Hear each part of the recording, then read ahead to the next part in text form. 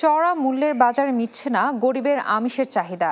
তাই রাজধানীতে সাশ্রয়ী মূল্যে ডিম, দুধ ও মাংস বিক্রি করছে প্রাণী সম্পদ মন্ত্রণালয়। তবে বরাদ্দ খুবই কম থাকায় খালি হাতে ফিরছেন অনেকে। নাজমুল হুদা সুমনের রিপোর্ট। নিত্যপণ্যের লাগামহীন দামে যখন নাভিশ্বাস ভোক্তাদের, তখন কিছুটা সাশ্রয়ী মূল্যে পুষ্টির চাহিদা মেটানোর উদ্যোগ নেয় মৎস্য ও প্রাণী সম্পদ মন্ত্রণালয়। ভ্রাম্যমাণ গাড়িতে রাজধানীর দশটি স্থানে বিক্রি শুরু করে ডিম, দুধ ও মাংস।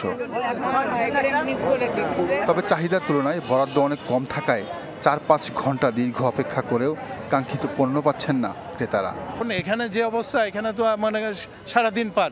আমার কোনো কাজ থাকলে কোনো কাজ করতে পারব না। তো এইভাবে কি সম্ভব? একবার টোকেন নিমু আবার টোকেনের পরে টাকা দিমু। টাকা দেওয়ার পর আবার লাইনে থাকুম।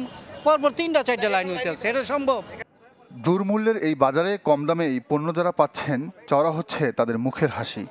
দোকানের তো একটু কম নিতে পারলাম আর কি। দোকানে তো কিছু টাকা কম আমার এই হইল সাশ্রয় হইল। বাজারের তুলনায় অনেক ভালো। হ্যাঁ খাসি মাংস আছে যেটা বাইরে এক হাজার টাকা সেটা আটশো টাকা। কর্তৃপক্ষের দাবি চাহিদা অনুযায়ী যোগান দিতে বাড়ানো হচ্ছে গাড়ির সংখ্যা। প্রতিদিনে কিন্তু আমাদের সাড়া বেড়েছে এবং মানুষের আগ্রহ প্রেক্ষিতে আমরা পরিমাণে বেড়ে বাড়িয়েছি পণ্য এবং অনেক স্পটও বাড়িয়ে দিচ্ছি এবং সামনের দিকে আমরা আরও বাড়াবো। প্রাণী সম্পদ অধিদপ্তর জানিয়েছে পুরো রমজান মাস জুড়েই রাজধানীতে চালু থাকবে ভ্রাম্যমান এসব বিক্রয় কেন্দ্র। Nazmul Huda Suman channel twenty Dhaka.